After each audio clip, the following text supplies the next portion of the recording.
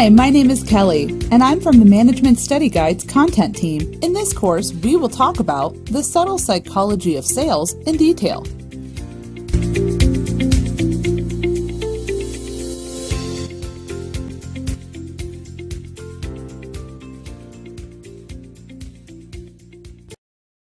Let's review the course objectives. List the psychology principles to use in sales. Explain the principle of reciprocation. Explain the principle of possession.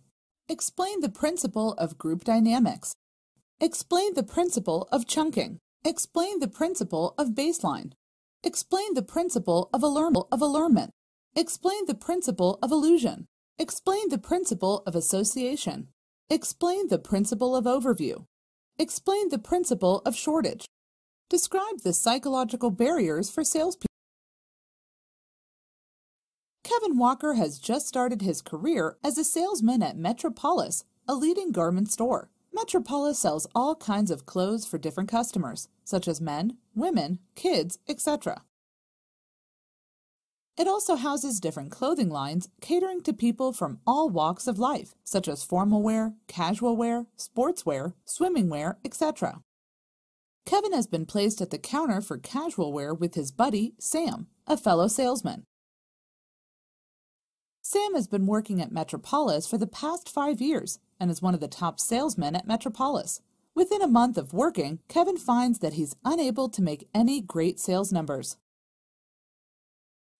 He finds it extremely hard to convince people to buy any of the items at his counter. Even when people show interest for the clothes at his counter, they don't buy much. Sam, on the other hand, is a pro at sales and is an expert salesperson He's able to sell not only one, but multiple items and even auxiliary items to his customers. Let's look at a conversation between Kevin and Sam one day on a coffee break. How do you make so many sales, man? It's simple. How? Remember that your customers are also normal human beings, just like you and me. What does that even mean? It means that they too have a mindset similar to all humans. They like to be appreciated by others, like to be superior to others around them. They compare themselves to others, and the most important thing of all for us salesmen is that they behave in certain ways when being influenced in the right way. That is exactly that you need to learn. The psychology of selling to people. Really? I thought selling was just about persuading the other person to buy. Persuasion is extremely important in sales, but how would you persuade if you don't understand what's going on in their minds? Or what are the different things that could impact and drive a person to buy from you?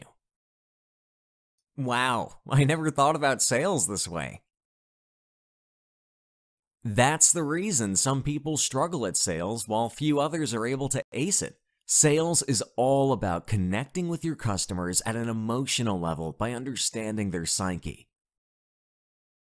You can see how Sam explains to Kevin that sales is intricately correlated with the psychology of your customer. Therefore, it's extremely important to understand the psychology that goes behind making each and every one of your sales.